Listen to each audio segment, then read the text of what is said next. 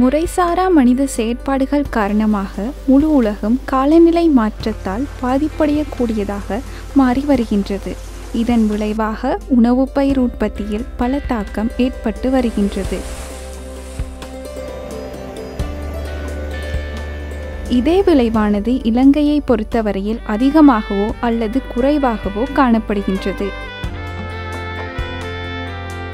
இவ்காலநிலை மாற்றத்திற்கு சரியான ஒரு தீர்வாக இருப்பது பசுமை விவசாயம் மற்றும் பச்சை வீடுகளில் பயிர் செய்கையை மேற்கொள்வதாகும்.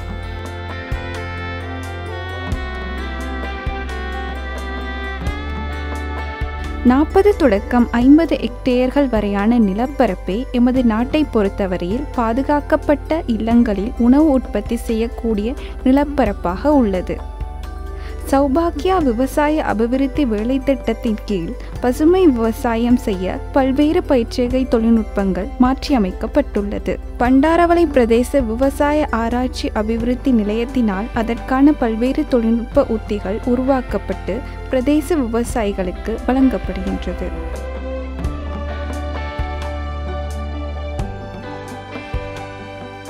பசுமை விவசாய தொழில்நுட்பமானது தற்போது பிரபல்யமான தொழில்நுட்பமாக மாறி வருகின்றது. தற்போது இலங்கையில் விசேடமாக இளைய தலைமுறையினர் மத்தியில் இத்தொழில்நுட்பம் மிகவும் பிரபல்யமான தொழில்நுட்பமாக மாறியுள்ளது. இதற்கான முக்கிய காரணமாக அமைவது அவர்களுக்கு இந்த தொழில்நுட்பம் தொடர்பான பல உதவிகள் கிடைக்கக்கூடியதாக இருக்கின்றது. மற்றும் அதிக வினைத்திறனுடன் சிறிய உழைப்புடன் சேறுபடாமல் விவசாயத்தை சிறப்பாக செய்து உற்பத்தியில் நல்ல வருமானத்தையும் பெற்றுக்கொள்ளக்கூடியதாகவும் இருக்கின்றது. ஆகவேதான் இது இளைய தலைமுறை மத்தியில் பிரபல்யமாக இருக்கின்றது. பசுமை தொழில்நுட்பம் உண்மையில் ஒரு புதிய தொழில்நுட்பமாகும். ஆயிரத்தி தொள்ளாயிரத்தி தொண்ணூற்றி ஏழாம் ஆண்டின் தொடக்கத்தில் பசுமை இல்ல தொழில்நுட்பம் இலங்கையில் நடைமுறைப்படுத்தப்பட்டு வருகின்றது. இதன்போது பொலிட்டனல் அக்ரிகல்ச்சர் அதாவது பொலித்தீன்களால் மூடப்பட்ட இல்லங்களினுள் சிறிய நெற்களால் அமைக்கப்பட்ட வலை வீடுகளும் பயன்படுத்தப்பட்டு எளிய முறையில் விவசாயம் செய்யப்பட்டது. இவற்றை பயன்படுத்தும் போது உள்ள முக்கிய பிரச்சினை தான் அவற்றினுள் வெப்பநிலை அதிகரிப்பு மற்றும் பொலிட்டனலினுள் ஈரப்பதன் குறைவடைவதாகும். இதன் விளைவாக விளைச்சல் குறைவு மற்றும் முகாமைத்துவ நடவடிக்கைகள் பாதிக்கப்பட்டு அவற்றின் தரம் குறைந்து விவசாயிகள் பாதிக்கப்படுகின்றனர். இப்போதெல்லாம் இந்த பொலிட்டனல் தொழில்நுட்பமானது உயர் நிலையை எட்டியுள்ளது. மேற்படி பிரச்சினைகளுக்கு தீர்வு காணப்பட்டுள்ளது. நாங்கள் இப்போது அப்படியான ஒரு பசுமை இல்லத்திலேயே நிற்கின்றோம்.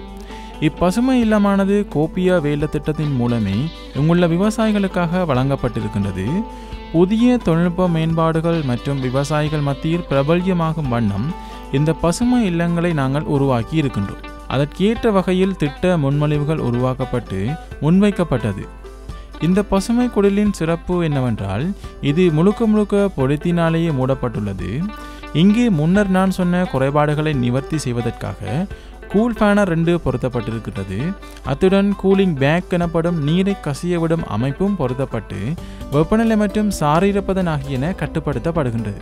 கூலிங் பேக் ஊடாக கசிந்து வரும் நீர் ஆவியாகி பசுமை இல்லம் முழுவதும் பரவுகின்றது. வெப்பநிலை ஈரப்பதன் என்பவற்றை சீர் செய்வதற்காக கூல் ஃபேனர் உதவியாக இருக்கும். இங்குள்ள கூல் ஃபேனர் ரெண்டும் இயங்குவதற்கு தேவையான சக்தியை நாங்கள் சாதாரண மின் மூலம் வழங்க முடியும் அல்லது சூரிய கலங்களை பயன்படுத்தி பெறப்படும் மின்சக்தியையும் வழங்க முடியும். இங்குள்ள குடில்களுக்கு சூரிய படல் பொருத்தப்பட்டு இருப்பதால் மின்னுக்கான செலவு குறைவடைவதுடன் மொத்த செலவும் குறைக்கப்படக்கூடியதாக இருக்கு. இது விவசாயிகளுக்கு நன்மைகரமான லாபகரமான முறையாகும். இந்த குடிலுள்ள பெல் பெப்பர் பயிற்சிகையின் வயது ஆறு மாதங்களாகும். இதை பார்க்கும்போதே விளங்கும் இந்த பயிற்சிகையின் வளர்ச்சி எவ்வாறு இருக்கின்றது என்பது. இன்னும் மூன்று மாதங்களுக்கு தொடர்ச்சியாக எதிர்பார்க்கும் விளைச்சலை பெற்றுக்கொள்ளக்கூடியதாக இருக்கும். சரியான முகாமைத்துவம் இருப்பதால் சாதாரணமாக கன்று ஒன்றிலிருந்து ஐந்தரை தொடக்கம் ஆறு கிலோகிராம் விளைச்சலை பெற்றுக்கொள்ளக்கூடியதாக இருக்கின்றது. சாதாரணமாக ஐந்து கிலோகிராம் என வைத்து கொண்டால் கூட இன்றைய தினம் பெல் பெப்பர் ஒன்றின் சந்தை விலை கிலோகிராம் ஒன்றுக்கு ஆயிரம் ரூபாய் வரை செல்கின்றது. ஆகவே கன்று ஒன்றிலிருந்து ஐம்பதாயிரம் ரூபாய் வரை ஆதாயத்தை இவர்களால் பெற்றுக்கொள்ள முடியும். நாங்கள் இங்கு இன்னுமொரு விடயத்தை கட்டாயமாக மேற்கொள்ள வேண்டும். அதாவது கன்றுகளை பயிற்றுவிப்பதாகும் பெல் பெப்பர் கன்றை ரெண்டு கிளைகள் விட்டு செல்லக்கூடிய வகையில் கத்தரித்து பயிற்றுவிக்க வேண்டும். அத்துடன் முதலில் தோன்றும் காயையும் அப்புறப்படுத்த வேண்டும். இதன் பின்பு தோன்றும் காய்களே பெரிய தரமான காயாக இருக்கும். ஆனால் விவசாயிகள் இதனை அகற்றுவதில்லை. அகற்றிக் கொள்வதன் மூலம் பூக்கள் உருவாகும் அளவு அதிகரித்து விளைச்சலும் அதிகரிக்கக்கூடியதாக இருக்கும். இவ்வாறு அகற்றும்போது கன்று வீரியமாக வளர்ச்சியடைய முடிவதுடன் வீரியமான பூக்கள் பிந்திய காலத்திலும் தோன்றும். விளைச்சலும் கூடும். இதனை விவசாயிகள் சரியாக புரிந்து கொள்வதில்லை. சாதாரணமாக இவ்வாறு அகற்றாவிடில் மூன்று மூன்றரை கிலோகிராம் விளைச்சலியை பெற்றுக்கொள்ளக்கூடியதாக இருக்கும். அகற்றும் போது ஐந்தரை தொடக்கம் ஆறு கிலோகிராம் வரையான விளைச்சலை இம்மாதத்தில் பெற்றுக்கொள்ளக்கூடியதாக இருக்கும். மேலும் உள்ள ரெண்டு மாதங்களில் இன்னும் ரெண்டு கிலோகிராம் வரை விளைச்சலை பெற்றுக்கொள்ள முடியும். ஆகவே ரெண்டு மடங்கு அதிகமான விளைச்சலை இவர்களால் பெற்றுக்கொள்ள முடியும். பசுமை இல்லங்களில் பயிர்ச்செய்கை செய்யும் போது ஏற்படும் நோய்கள் மற்றும் பூச்சி பீடை தாக்கங்கள் குறித்து சரியாக அறிந்திருத்தல் வேண்டும். இதன் மூலமாகவே நாங்கள் ஆரோக்கியமான பயிர்ச்செய்கையை மேற்கொள்ள முடிவதுடன் பெறப்படும் விளைச்சலையும் கூட்டி வருமானத்தையும் அதிகரிக்க முடியும்.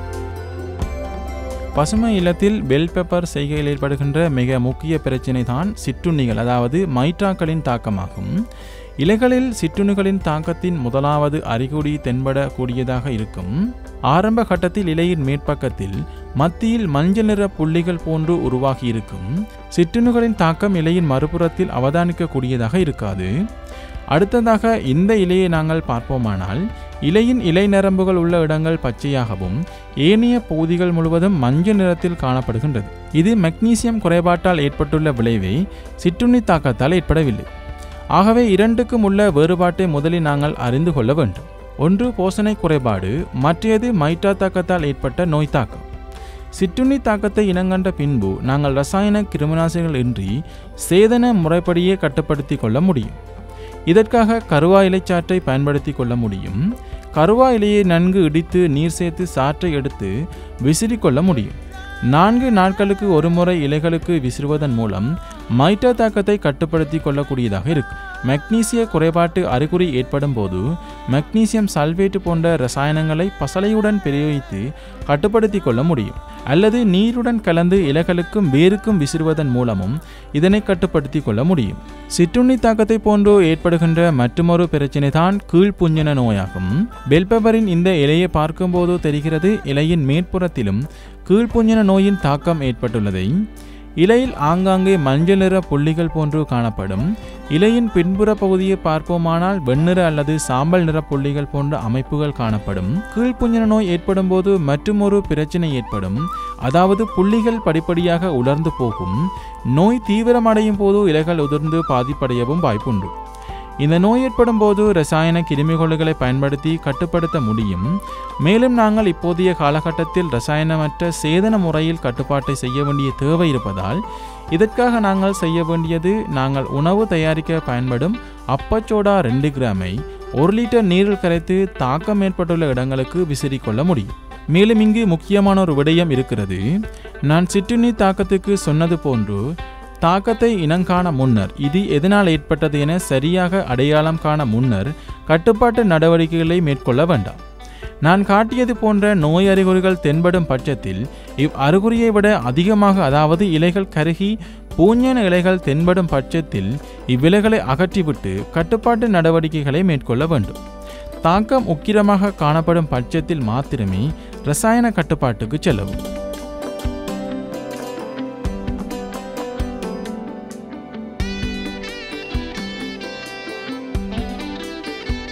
நாங்கள் சாதாரணமாக பசுமை இல்லங்களில் பயிற்சிகை என கதைக்கும் போது தக்காளி ஸ்ட்ராபெரி சலாது கெக்கரி அதுபோன்று இப்போது கதைத்த பெல் பேப்பர் ஆகியவற்றை பற்றி நாங்கள் அதிகம் கதைக்கின்றோம். இவற்றை விட விவசாயிகள் முயற்சி செய்து வெற்றியளித்துள்ள மற்றொரு பயிர்தான் நைமெரிஸ் எனப்படும் உள்ளூர் மிளகாய் வர்க்கமாகும். இதனை செய்யும்போது பல்வேறு பிரச்சனைகளை விவசாயிகள் எதிர்கொள்ள வேண்டி இருக்கும் ஏனெனில் இது பசுமை இல்லங்களில் அல்ல சாதாரணமாக வெளிப்புற களத்தில் செய்கை பண்ணக்கூடிய பயிராகும். இப்போது நாங்கள் இந்த மிளகாய் செய்கையை பசுமை இல்லங்களில் செய்ய முடியுமா? அல்லது செய்ய உங்களுக்கு விருப்பம் இருந்தால் என்ன செய்ய வேண்டும் என்பதை பார்த்து விடுவோம். இங்கு உங்களுக்கு பார்த்தாலே தெரிகின்றது சாதாரணமாக வெளியில் செய்வதை விட வளர்ச்சி மற்றும் விளைச்சல் அதிகமாகவே இருக்கின்றது. இந்த மிளகாய் செய்கை ஐந்து மாதங்கள் ஆகிவிட்டது. ஒரு பயிரிலிருந்து நாலு கிலோகிராமிற்கும் அதிகமான விளைச்சலை ஒரே தடவையில் பெற்றுக்கொள்ளக்கூடியதாக இருக்கின்றது. நாங்கள் இங்கு பயன்படுத்தியிருப்பது பெல் பெப்பருக்கு பயன்படுத்தும் அதே பசலை சிபாரிசு மற்றும் ஏனைய தொழில்நுட்ப விடயங்கள் அனைத்தும் பெல் பெப்பரை போன்றே செய்திருக்கின்றோம். நோய் பிழை தாக்கம் பற்றி பார்க்கும்போது பெல் பெப்பரில் ஏற்பட்டிருந்த சிற்றுணி தாக்கம் கீழ்ப்புஞ்சன் நோய் என்பன இங்கு ஏற்பட்டிருக்கவில்லை. மேலும் விளைச்சல் அதிகமாகவே இருந்தது. நல்ல விலையும் விவசாயிகளுக்கு கிடைக்கின்றது. கிலோ ஒன்றுக்கு எண்ணூறு தொடக்கம் ஆயிரம் ரூபாய் வரை கிடைக்கின்றது. இன்னுமொரு நன்மையும் உண்டு. இந்த பயிற்சிகையை நாங்கள் பத்து மாதங்களுக்கு மேற்பட்ட காலம் வரை எங்களால் பராமரித்து உச்ச பயனை பெற்றுக்கொள்ள முடியும். இது உண்மையிலேயே விவசாயிகளுக்கு நல்ல லாபத்தை தரக்கூடிய இலகுவான ஒரு பயிற்சிகையாகும்.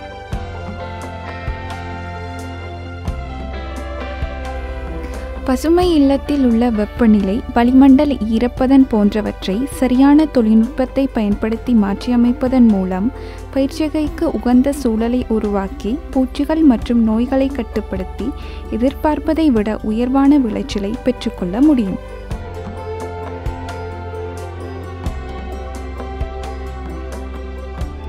இங்கிருக்கும் இந்த பசுமை இல்லமானது முழுமையாக மூடப்பட்ட இல்லமாகும். வெளிப்புற தோற்றத்தை வைத்து எங்களால் இதன் அமைப்பை கவனிக்கக்கூடியதாக இருக்கிறது. இங்குள்ள அனைத்து உபகரணங்களும் தொழிற்பட தேவையான சக்தியானது உங்களுக்கு தெரிகின்ற சூரிய கலம் மூலம் உற்பத்தி செய்யப்பட்டு வழங்கப்படுகின்றது. இங்கு சூரிய சக்தியானது மின் சக்தியாக மாற்றப்பட்டு நேரடியாக பயன்படுத்தப்படுவதுடன் மின்கலங்களிலும் சேமிக்கப்படக்கூடியதாக இருக்கின்றது. இங்கு உற்பத்தி செய்யப்படும் மின் மூலம் இந்த இல்லத்தில் உள்ள கூல் பேனல் தொழிற்படக்கூடியதாக உள்ளது. இந்த கூல் ஃபேனர் ஆனது குடிலின் பின்புறத்திலேயே பொருத்தப்பட்டிருக்கின்றது. குடிலை குளிர்ச்சிப்படுத்துவதற்காக குடிலின் உள்ளே கூலிங் பேக் எனப்படும் அமைப்பும் பொருத்தப்பட்டுள்ளது. இதற்கு தேவையான மின் சக்தியும் சூரிய கலம் மூலமே உற்பத்தி செய்யப்படுகின்றது. இங்குள்ள மின் உபகரணங்கள் தொட்பட தேவையான இருநூற்றி இருபது வோல்ட் மின் சக்தியும் சூரிய கலம் மூலமே உற்பத்தி செய்யப்படுகின்றது. இது ஒரு மிகவும் சிறப்பான விடயமாகும். இங்கு நாங்கள் கூல் ஃபேனர் பயன்படுத்துவதன் பிரதான நோக்கம் குடிலின் உள்ளே காணப்படும் வெப்பநிலை வளிமண்டல ஈரப்பதன் போன்றவற்றை சீர் செய்வதற்காகும். இங்கு நாங்கள் இந்த தொழில்நுட்பத்தை பயன்படுத்திக் கொள்வதன் மூலம் பயிர் வளர்ச்சிக்கு தேவையான காரணியை வழங்க இலகுவாக இருப்பதுடன் நோய்ப்பிட தாக்கத்தையும் கட்டுப்படுத்திக் கொள்ள முடியும். இங்கு சூரிய சக்தியை பயன்படுத்தி கொள்ளும் போது நமக்கு பிரச்சனைகள் ஏற்படக்கூடும். அதாவது சூரிய ஒளி கிடைக்காத சந்தர்ப்பத்தில் அல்லது மழை பெய்யும் காலங்களில் மின் உற்பத்தியானது பாதிப்படையக்கூடும். ஆகவே வெப்பநிலை ஈரப்பதனை சீர் செய்ய முடியாது குடிலின் உள்ளே காணப்படும் பயிர்கள் அழிவடைய வாய்ப்புண்டு. இதற்காக நாங்கள் ஒரு புதிய தொழில்நுட்பத்தை இங்கு பயன்படுத்தியுள்ளோம். இதை பார்க்கும்போது உங்களுக்கு தெரியும் இந்த லிவரை பிடித்து சுற்றும் போது மேலே உள்ள பொலித்தீன் அமைப்பானது அப்படியே சுற்றப்பட்டு உள்ளே உள்ள நெட் அமைப்பானது வெளிப்படக்கூடியதாக இருக்கும். இதன் மூலம் காற்றோட்டம் செல்லக்கூடியதாகவும் இருக்கும். இதேபோன்று குடிலின் கூரையில் காணப்படும் பொலித்தீனையும் அகற்ற மேலும் இது போன்ற லிவர் காணப்படுகின்றது. அதனை சுற்றும்போது உள்ளே உள்ள நெட் அமைப்பானது வெளிப்படக்கூடியதாக இருக்கும் இவ்வாறு செய்யும்போது காற்றோட்டம் அதிகரிக்கப்பட்டு வெப்பநிலை ஈரப்பதன் எங்களால் கட்டுப்படுத்தக்கூடியதாக இருக்கும் இது போன்ற உயர் தொழில்நுட்பம் உங்களுக்கு நன்மை அளிக்கக்கூடியதாக இருக்கும்